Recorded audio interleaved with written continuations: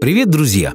Завести себе экзотическое животное. Хотя бы раз в жизни мысль об этом была привлекательна каждому из нас. Да, разумеется, держать необычного зверя дома довольно сложно, приходится брать на себя гигантскую ответственность. Однако, как все-таки заманчиво содержать дома питомца, на которого остальные попросту не могут решиться.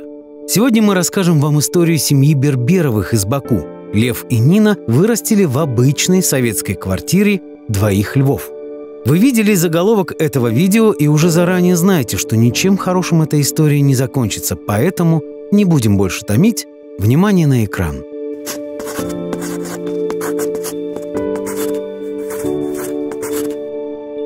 Как ни странно, эта история началась в тот момент, когда семье Берберовых подкинули под дверь волчонка. И хотя Лев и Нина не были дрессировщиками, мужчина вообще по профессии был архитектором, в семье очень любили животных.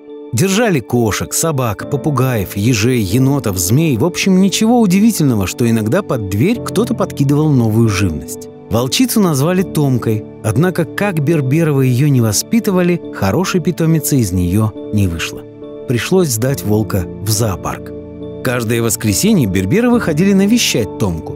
Во время одного из этих визитов дочка Льва и Нины Ева заметила в Валерии маленький жалкий серый комочек. Это оказался новорожденный львенок, от которого отказалась мама-львица. Каким-то невероятным образом Берберовым удалось уговорить директора забрать львенка домой. Так в семье появился первый лев. Назвали его Кингом. Сначала малыша кормили из бутылочки молоком и смесями, затем он с жидкой пищей перешел на мясо. Берберовы в буквальном смысле вытащили малыша с того света, настолько он был слабый. У львенка не действовали лапы, поэтому члены семьи целыми днями по очереди массировали их.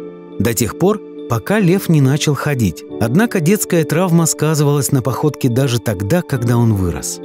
Годы шли, Кинг превращался в большого, красивого и, на удивление, очень ласкового льва. Царь зверей вел себя как домашний кот, ластился, облизывал шершавым языком гостей и совсем не сердился, когда его трепали за усы. О необычной семье и питомце льве писали в газетах по всему миру в позитивном ключе. Однако трудностей с таким питомцем было немало. Соседи рассказывали, что из квартиры неприятно пахло. Среди ночи Кинг иногда любил громко рычать так, что слышал весь дом. А еще каждое утро питомца выводили гулять во дворе. В это время соседи старались не высовываться из квартир. Во-первых, страшно, а во-вторых, с 200-килограммовым львом просто так не разойтись по сторонам, если столкнетесь на лестничном пролете. Когда Кинг совсем вырос, Берберовы хотели сдать его в зоопарк. Все-таки жизни питомца больше ничего не угрожало. Однако лев начал сопротивляться, устроил чуть ли не истерику, почти перевернул машину, так что пришлось его оставить. Впрочем, об этом вряд ли кто-то успел пожалеть, потому что Кинг как будто и не знал, что он страшный хищник. Беззаботно играл с детьми, никогда не огрызался, спал в хозяйской кровати между людьми, а еще снимался в кино. Да-да, в какой-то момент Кинг стал местной знаменитостью. Хозяев пригласили снять питомца в советско-итальянском фильме «Невероятные приключения итальянцев в России». Тогда никто и не догадывался, что история закончится трагично.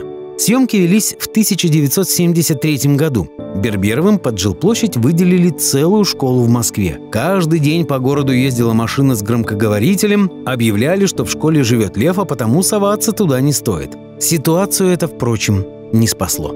Однажды Кинга оставили одного в школьном спортзале. В это время в сад школы зашел студент с девушкой и собакой. Лев выдавил лбом стекло спортзала, выскочил в сад и повалил парня на землю. И хотя по утверждениям хозяев Кинг всего лишь играл, студент начал истошно кричать, и его, в общем-то, можно было понять. Инцидент закончился выстрелами милиционера, который оказался поблизости. Студент отделался парой царапин. Кинг, к сожалению, не выжил. Берберовы похоронили питомца и горевали о нем так, будто потеряли любимого сына. Дети семейства еще долго не могли оправиться от психологической травмы.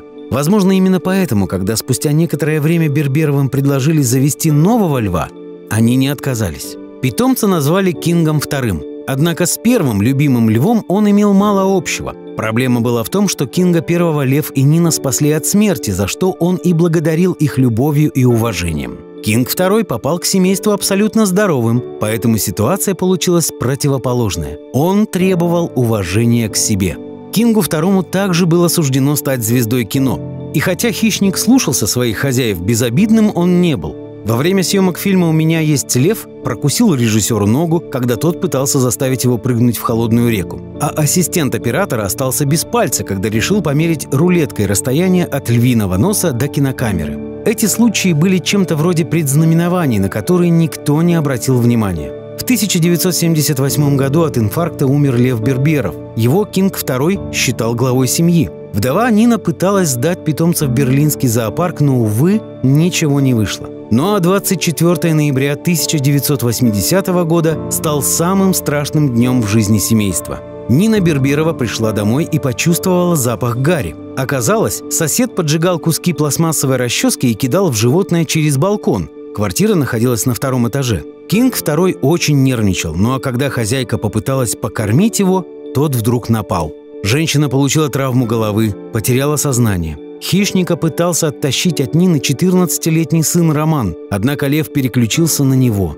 Мальчик не выжил. Соседи, услышав крики, вызвали милиционеров, которые оборвали жизнь Кинга II. Эта история – яркий пример того, почему все-таки не стоит держать дома диких зверей, даже если очень сильно любишь животных.